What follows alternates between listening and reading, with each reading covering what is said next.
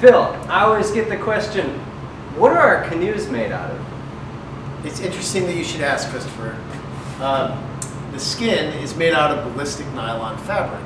And actually, we answer that question so much that I'm sick of it. And today, we're going to abuse this test panel with a variety of different tools so that we can shut up all the haters. Yeah, because that's the second question I get is, how strong is this canoe? And we're about to find out. Safety. Safety is a priority. We'll check it out with a paddle.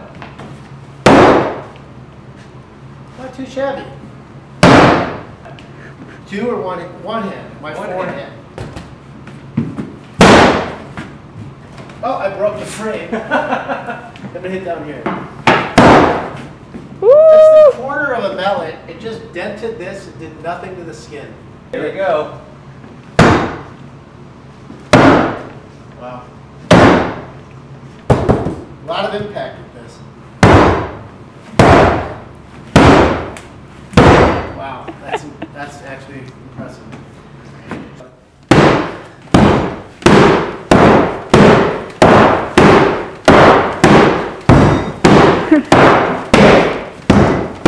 Wow.